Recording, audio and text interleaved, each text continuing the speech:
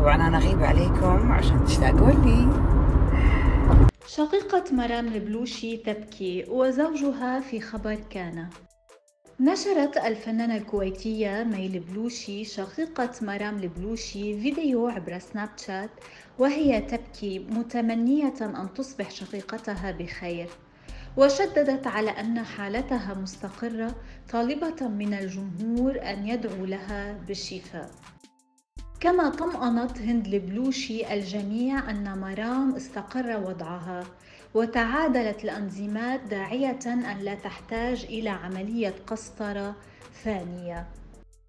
وتداول معجبو مرام البلوشي والعديد من الفنانين وأصدقائها صورا لها داعين لها بالشفاء.